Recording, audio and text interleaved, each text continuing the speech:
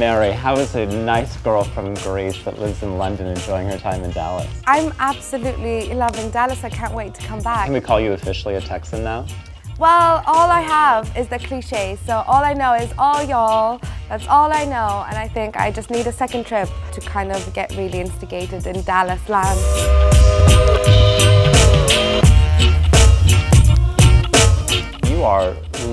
Charge above everyone with the amazing prints and things. I think I think it's really interesting because I think the reason why London is on fire and I do think it's a really good time for London is because there's a lot of young creative talent that isn't afraid to do something that will push the boundaries of how we see fashion today.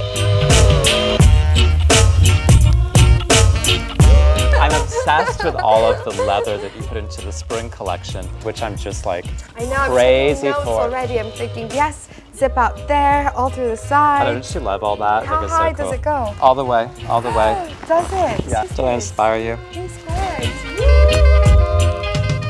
What comes So- first, the, the print or the pattern? Image comes first, but um, we always work very closely between pattern and print. So we code our own fabrics sometimes, we design our own fabrics, we design our own brocades and over print on it.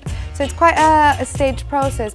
I do like taking something which is design or filtered beauty that you find in design and creating something quite subversive about it because no woman has been seen usually in a postage stamp, yet the graphicness of a postage stamp um, is really cool on the body. So sometimes I think you need to turn it on its head.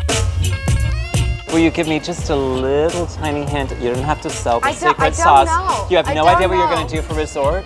Just a little, just a nugget? There are some blossoms, yes. It's not like I'm going to be tweeting it. It's just going to be on a video and in a conversation going to a million people. Wait!